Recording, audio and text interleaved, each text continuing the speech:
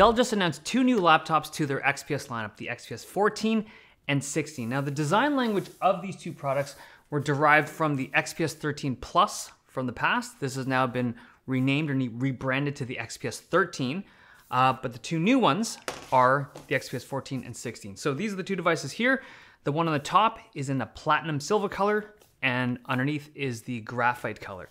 So the 14 inch is the smaller one. Now, when they first showed this, I thought, what is the point of having a 14 inch device over the 13 inch device, right? I mean, they're so similar in size, but it stems to just one main thing performance. So on the XPS 13 product, you were never able to configure this with a discrete GPU. If you wanted something from NVIDIA for something that's more graphically capable, was not possible because you just, this is such a small and tiny form factor, can't do it.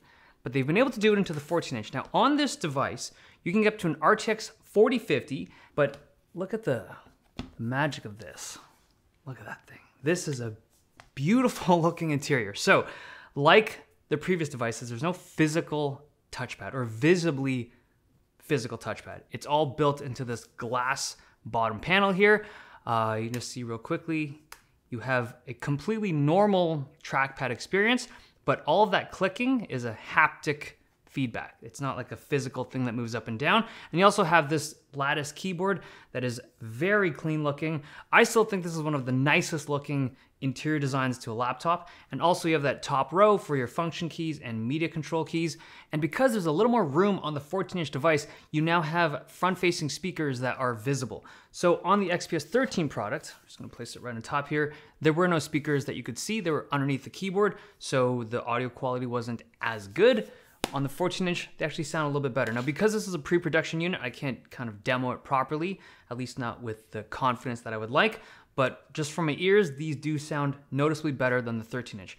Uh, now, in terms of the actual performance, this is running a Meteor Lake chip, Intel's newest and most energy efficient chip, and you also get slightly increased wattage on this larger device compared to the 13 inch.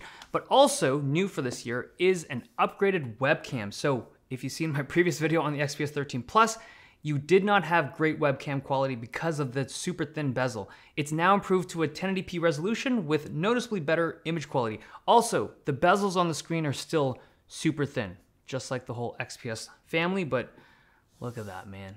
That is a super, super clean 14 inch display. Now the typing experience is largely the same compared to the previous generation of this Lattice keyboard, but one thing I noticed just as I was shooting it, the XPS 13 uh, the 13 Plus that I have here from the previous gen, it actually has a larger width of keyboard than the 14. Even though this is a 13 inch device that's technically smaller, this keyboard is a little bit wider than the 14. And it's only because of these edge keys, like on the 13 inch, because there was no speakers on the side, they could just extend these edge keys all the way to, right to the trim. But here, because of the speakers, they've had to kind of keep them constrained. So if you actually compare them, the 13 inch actually has a slightly larger keyboard or wider keyboard than the 14. So typing on these super clean keyboards is pretty fast to get used to, but I don't think my top speed is as fast on this type of keyboard as like a traditional laptop keyboard. So this device here, the XPS 16, is my favorite of the bunch, primarily because it has the most power. This goes up to an RTX 4070 equipped configuration, and again, super clean keyboard, super clean trackpad with the super clean light up function keys up top. Uh, I think this is just like, it's such a nice looking device. Plus the color, it's like this like dark gray. I've always liked this graphite color they had on the XPS products. The 16 inch obviously has its larger screen and also maintains the very high image quality that you'd expect from an XPS product. But you also get higher wattage components in this larger chassis because there's a little more space in there, more powerful cooling. You can pump up the wattage on the CPU and GPU.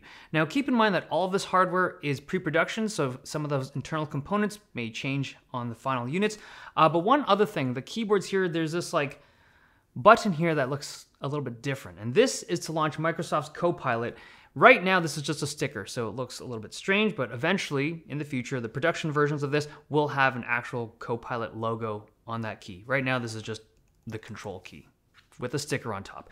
Uh, so real quickly, I just want to show the ports on it. So on the 14 and 16, they share basically the same ports. On the right, we have a micro SD, a headphone jack, and a USB-C, and then on the left side, we have a pair of USB-Cs. Now, in terms of the power supply for both of these, there's 130 watt for the 16 inch and then 100 watt for the 14 inch. But yeah, that's just an early look at the new XPS 14 and 16. I think these are very nice looking devices with seemingly very solid performance with the new Meteor Lake hardware inside. Okay, hope you guys enjoyed this video.